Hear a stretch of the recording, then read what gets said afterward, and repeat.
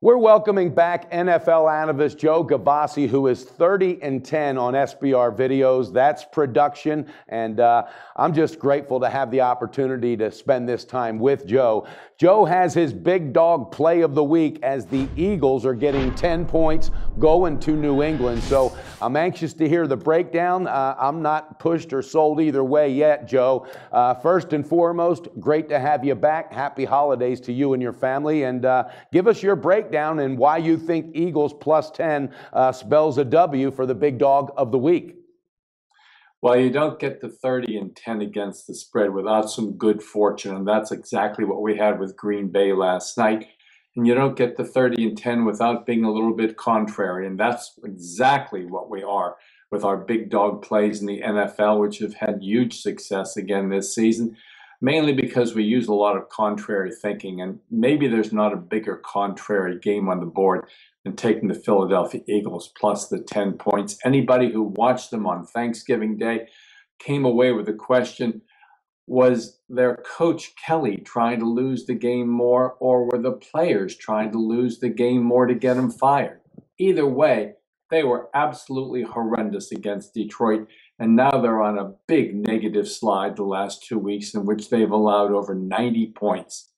That, however, usually signals extra value in the NFL, and it certainly has in this case, as they are now a double digit favorite. Of course, that comes against the New England Patriots, no longer among the undefeated, as their bubble was burst last week in Denver. A game that looked like it was unfortunate for New England to lose, but a closer look at the stats shows the Broncos handled them at the point of attack and in the yardage stats as well. Keep in mind, though, it's always next man up for New England, and even though they have numerous offensive injuries on the line and to their receivers, it has been historical that Brady and Belichick will bounce back in situations like this. Remember, they've covered their last seven games following a loss. Mm.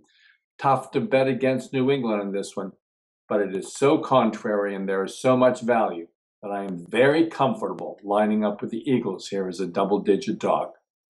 That's a good analysis, Joe, and there is just a lot of content, a lot of drama, a lot of factors in this ball game. Um, I, I was all over Denver last week, and you know, again, the ball bounces your way, but that was a big win for me. I just really felt that Denver's defense was so much better than what people really think. Um, again, and through the years, Belichick plugs holes like it's nobody's business. He does it better than anybody. He's a master. There's just so many holes to plug right now. That that boat has got to be sinking. Um, but not to the point of failure because that's what the Patriots do best. They rebuild, but they're really missing Edelman. Of course, Gronk's going to be out. Um, you also have to take in factor, and I need to do this as well. You got a pissed off Tom Brady. He is not happy. The officiating went against them, and that was, you know, pretty clear that it did. Here's the other thing, though, and I'm a big music fan, Joe, and I'm a big sports fan. And when I look at the Eagles today, um, already gone, a song by the Eagles, how ironic. Um, Kelly's gone. He's not there. A, a friend of mine, we did a video almost four weeks ago, had some information leak out of Costa Rica that Kelly was going to be going to, to Tennessee to, to, you know, have his marriage with Mariota. And I guarantee you that will happen. I, I feel it will. But he's lost his team in the locker room. He's lost his team on the field. Uh, I think, though, the 10 points is going to be enough because of the banged up condition that the Patriots are. And again, that's that's just my, my look at it. There's no quarterback on the Eagles that impresses me right now. I think Tim Tebow would have been better off, to be honest with you, but that's, you know, that's stretching it, but who knows.